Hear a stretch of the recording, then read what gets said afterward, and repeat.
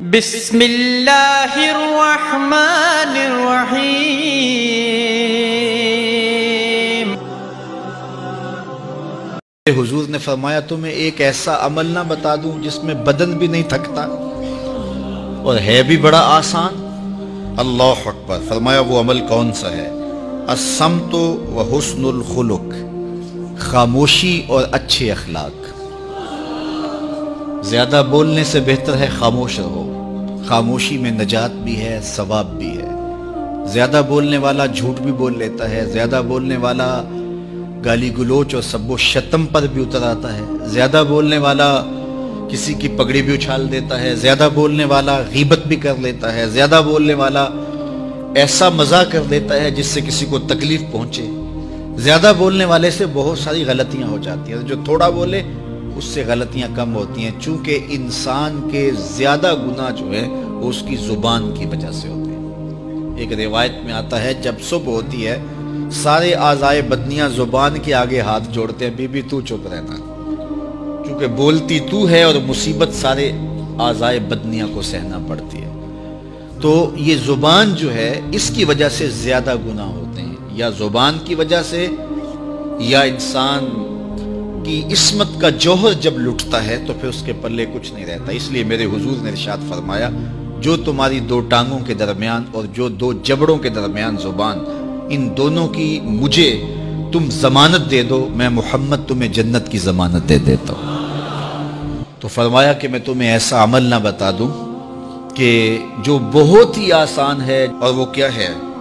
असमत, खामोशी। हुस्नुल खुल्क। और दूसरी बात, अच्छे अखलाक, रवैयों की खूबसूरती। किसी से मिलो तो हंस के मिलो। किसी से बात करो तो लहजे में नरमी हो। किसी की इज़्ज़त आबरू का ख्याल रखो। बड़े का एहतराम करो, छोटे पर शफकत करो। मखलूक खुदा पर रहम करो। अल्लाह की मखलूक पर शफकत से पेश आओ। रसूल करीम की उम्मत पर रहम करो।